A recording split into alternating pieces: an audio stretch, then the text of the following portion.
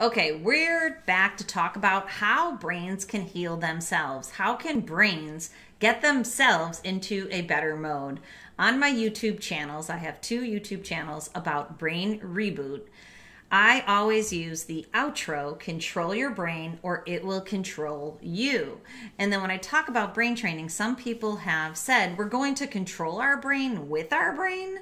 This is so confusing. And my retort in a loving way is that no, we're not going to use our brains to control our brains. We are going to use our bodies and our minds, and then we're going to use some high tech too, so that we can control our brains to stay there. So, the way that brains heal and change and can improve is through neuroplasticity. And there's a few scientific principles, none of them will wound your brain, hopefully, but that I would like you to know because when you understand how they work, science shows, integrated theory, it's called, shows when you know how something works, then you have a strategy to do it. You are more engaged in it, it becomes more salient and meaningful. You can use the techniques and strategies and feel great about them because you understand what they are doing in your brain. And that's what I want to do here briefly. So, neuroplasticity can be your best friend or your worst enemy depending upon what you are doing.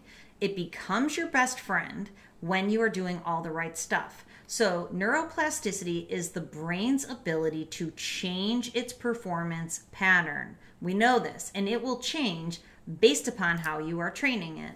So it's your best friend if you're eating healthy and you're exercising, you're taking your brain breaks and your work, you're balancing your work, your relationships, and your hobbies. That is using neuroplasticity to create what is called a positive feedback loop, which means that you're creating the best electrical energy pattern in your brain. You're bringing these down and the perfect processing speed in the middle up. And then you're using that pattern in your world so that you're getting positive behaviors and positive outcomes and you're being rewarded for that. And then it feeds back and it locks that brain pattern in even tighter. It is called Hebb's Law. Neurons that fire together wire together. It creates the positive neural pathways for positive change.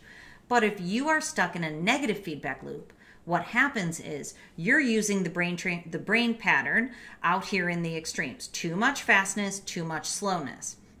What that gets you is stressed anxious overwhelmed overdrive burnt out feeling exhausted. You use these patterns more and more and more because we know from the science and from life stress begets more stress stress begets burnout and exhaustion. So, if you're using these patterns, you've set your brain up with a negative feedback loop of being stressed and overwhelmed and exhausted, which gets you negative behaviors. It gets you negative outcomes of feeling more stressed and getting behind in work and not enjoying time with your family and your partner and having to feel like you work all the time negative outcomes that then feed back to your brain and lock it in so you're using this pattern.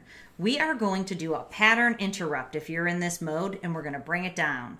If you're in this mode, we're going to continue to pop it up so that we can lock in this positive feedback loop forever. That's the goal. We're going to lock it in forever using Hebb's Law.